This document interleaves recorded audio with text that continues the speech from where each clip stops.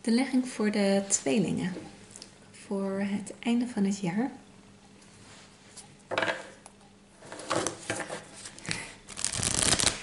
Nou, ik ben terug. Van weg geweest. Ik, uh, ik ga weer regelmatig uh, video's uploaden. En uh, nou, dit is de eerste voor de tweelingen. Voor het einde van het jaar. De stam.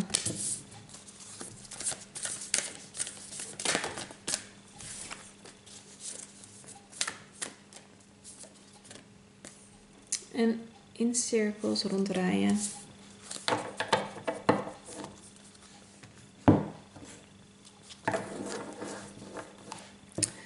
Um,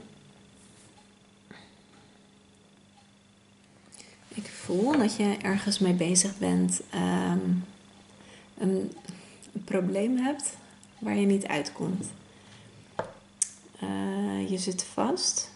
Het heeft te maken met je gezin, met je familie, kinderen. En er is iets waar je maar over na blijft denken en uh, waar je niet uitkomt. Je kan geen beslissing maken. Je zit vast, je komt niet vooruit. Um, en um,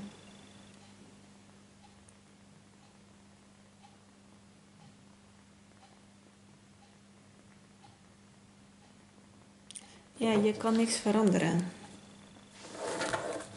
Is het?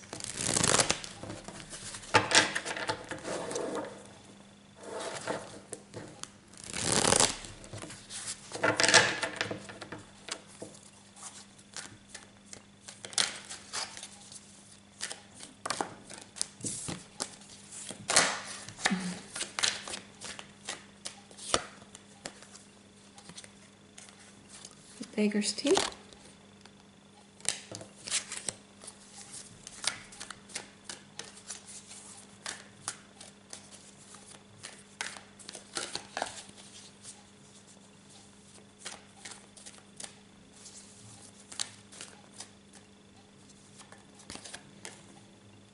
Pentacle 7.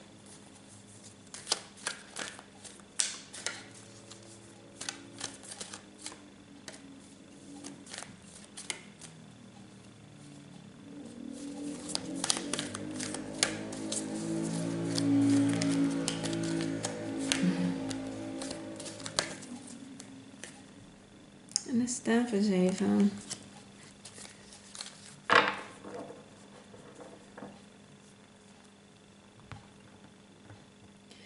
Um, ja. Je bent aan het wachten en op de een of andere manier um, hou je ook die veranderingen tegen.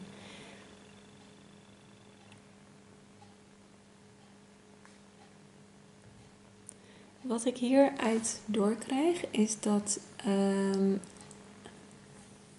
je iets wil veranderen in, in je gezin, in je familie.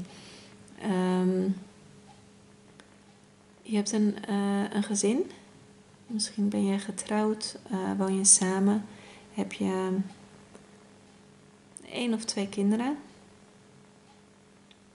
Misschien zelfs drie, vier, je weet het niet. Um, en je wil, um, ja, het, het voelt of je wil stoppen met de, met de relatie. Of je wil stoppen. Um, je denkt erover na. En je kan geen beslissing nemen. Uh, elke keer als er iets op het punt staat te veranderen, um, trek je terug, stop je. Hou je tegen die veranderingen. En um, verder ben je aan het wachten tot er meer dingen duidelijk worden. Um, tot je die beslissing kan maken. Tot je je zekerder voelt. Uh, totdat die twijfel weg is.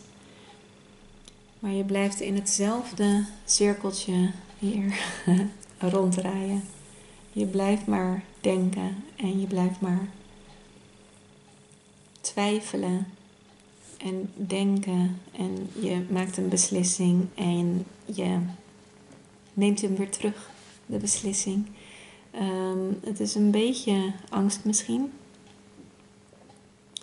maar het is vooral heel veel twijfel. Ehm, je bent bang om de verkeerde beslissing te maken, daarom twijfel je zo erg.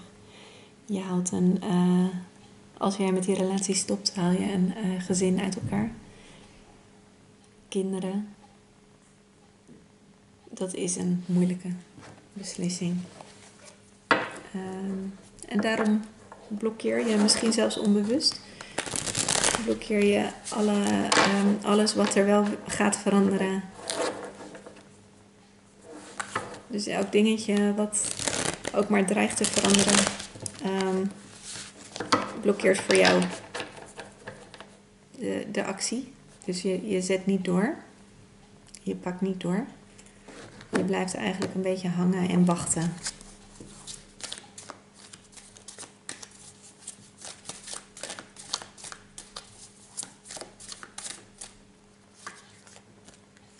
De maan. Vliegje.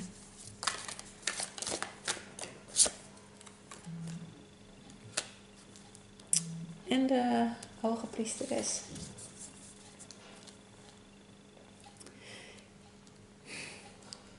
Er zijn heel veel dingen voor jou um, verborgen. Niet dingen die voor jou verborgen zijn, maar dingen die jij verbergt. Uh, en dan zijn het vooral gevoelens en emoties um, met betrekking tot je gezin. Um, misschien irriteer je je heel erg aan je partner kan je hem eigenlijk niet meer in je buurt verdragen of haar. En je stopt alles weg omdat je die beslissing niet durft te maken, omdat je niet kan kiezen wat je wil. Diep van binnen weet je wat je wil, eigenlijk wil je niet verder, maar je durft niet. Je, je durft geen actie te ondernemen. Um, en dat is vooral vanwege de kinderen, maar ook vanwege Um, dat je alleen bent, zelfstandig bent, als je dus stopt met die relatie.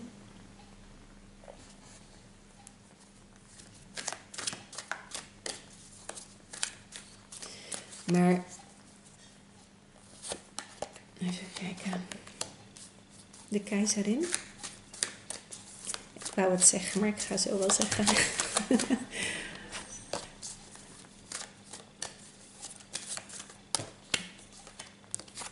Nou, nou.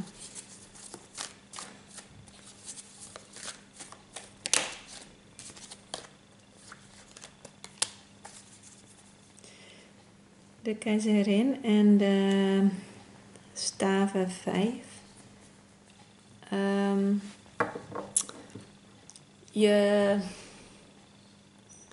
je bent aan het wachten tot je sterk genoeg bent. En um, je maakt je druk om uh, de meningen van anderen. Wat, uh, wat vinden andere mensen ervan? Wat gaan mensen ervan zeggen? Um,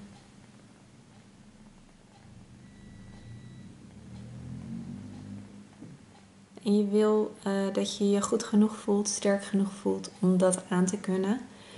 Um, en ook wacht je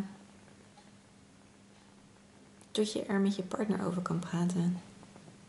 Dat probeer je wel, uh, maar je partner begrijpt het niet, wil het niet begrijpen. Um,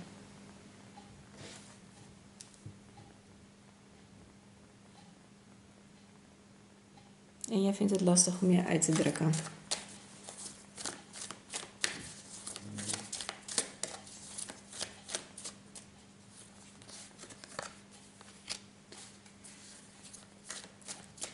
van staven.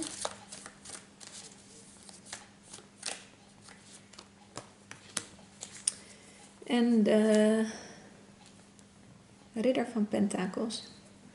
Sorry, het zijn Engelse kaarten, dus ik moest even snel denken. Um,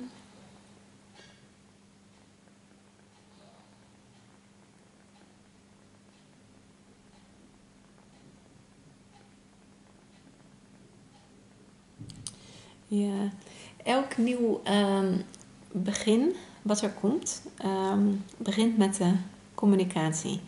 Um, ik zie dat je het uh, steeds probeert en steeds vaker probeert om het met je partner te bespreken. En je, je vindt het lastig, maar je doet het. En dit is ook de sleutel hoe het goed gaat komen voor je. Blijf dat ook doen. Want ehm, elke keer dat jij uh, je uitspreekt, word jij sterker. En um, kom je er beter achter wat je wil en wat je moet doen. Uh, kijk, elk dingetje wat jij voelt, van um, elk nieuw dingetje. Dus eigenlijk alles waar je, waar je blij van wordt. Bij het idee om, om voor jezelf te kiezen. Uh, de kerstboom in jouw kleuren opzet, opzetten. Um, de vaatwasser inruimen op jouw manier. um, de, de, um, de wijn kiezen die jij lekker vindt van die gekke kleine dingetjes. Waarvan je denkt van, oh, als ik zelfstandig zou zijn, uh, zou ik dat op die manier kunnen doen. Elk dingetje, spreek het naar jezelf uit. En um, wees eerlijk tegen jezelf. En um, dat zijn natuurlijk niet dingetjes die je allemaal tegen je partner moet gaan zeggen. Maar um, probeer wel als je zoiets voelt om dan uh, ook iets naar je partner toe aan te geven van um, omdat het iets is wat je zelf wil. En als je dan die uh, vonk in jezelf voelt, is dat ook het juiste moment om dat naar je partner toe aan te geven. Van nou, uh, ik voel me niet uh, meer zo super gelukkig. Of um, ja, kunnen we daar eens over praten? En hoe zie jij dat? En dat zijn eigenlijk die momenten dat je zelf uh, jezelf sterk voelt, jezelf goed voelt. En dat is het moment dat je ook met je partner in gesprek kan gaan. Het moment dat jij je niet goed voelt en dat je down bent en um, dat je het even niet meer weet, is niet het moment om dit gesprek aan te gaan met je partner. Want hij, hij of zij gaat het niet begrijpen dan. En zal uh, waarschijnlijk alleen maar meer zijn of haar best gaan doen om um, om je blij te maken en om je bij zich te houden. We gaan kijken naar een mogelijke uitkomst of een advies. De hoge priester.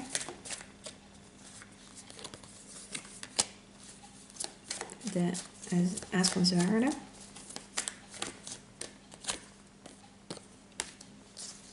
En de schildknaap van zwaarden.